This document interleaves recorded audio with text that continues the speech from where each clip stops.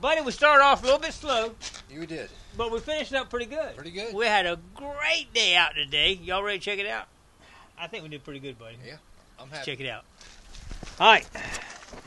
Over here on the Gigmaster side, I did pick up a few uh, pieces of pottery in that old colonial field. You can see the uh, fluorescence on there, like, you know, there's more wine bottles, pieces of wine bottles and stuff right there. Uh, but this field here that we're in right now did pretty good. Uh, here's a, um, oh, this came from the other field, I believe, buddy, right here. But this is, you can see it's some kind of uh, brass, I believe. Not sure what it is. Anybody have idea? You can post it down below. Um, this field, we got all, all the bullets and we got all this from this field except for that. All right, this is all melted uh, lead. Anytime you go to Civil War camps and all, you're going to find uh, a lot of melted lead. I got three Sharps and two pistol bullets right there. Boy, I thought that would be one there, but these things here give you the best signal. These little tiny, I guess, copper washers or whatever. I got a wheat penny. I can't see the date on it. I got a button here. Can't tell what that is. This is a pretty awesome button here. I think it's a navy cuff button right there, which is really good shape. I'm liking that. The tab's gone, but hey, not bad. I got a look at that, buddy. What do you think? Can you believe I found one of these? If it's there, you're gonna find it.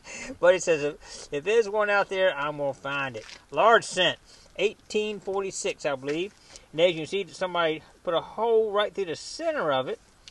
I, I guess they sewed them into the clothes or what, buddy? Yeah, I think so.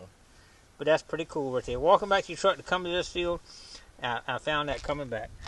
And a nice early colonial uh, buckle right there. That's a nice one right there. Buddy, you hit up the, the bullets. You got a pistol bullet, a couple sharp bullets, and a piece of a cut bullet, some melted lead, two Indian heads. You got a date on that one, didn't you? 1880 something. Yeah. 1880 something. A nice button, nice colonial button. It's got some nice design on it. And they got a coin. We couldn't figure out what it is, but I think I know what it is. I'm thinking it's a Virginia halfpenny. I'll put a couple pictures up there. It's eat up pretty good, but I can see a cross on the back. I don't know if you can see it now. I'll put a picture up there, but put a little water. Give me a little bit of water there, buddy. I'll, I'll see if we can show it. But um, and you see the bust on it too. But I'll show you a little bit here, right here. Get a little bit of water on. Okay. Oh, there you go. See that that cross coming in right there. Y'all can see it. Hopefully, it's right there coming in. You see the cross right there, and you flip it over. You see the bust right there. I'm saying Virginia halfpenny. What y'all think? That's a good find, boy. Seven, I think that's 1773 or something. But not bad right there.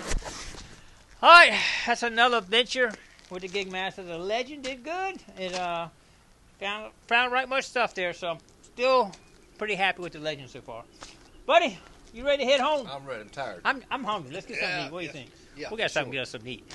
All right, don't forget to click like, comment below, share, and Subscribe to the Gigmaster. and we'll see you on the next adventure. Stay tuned.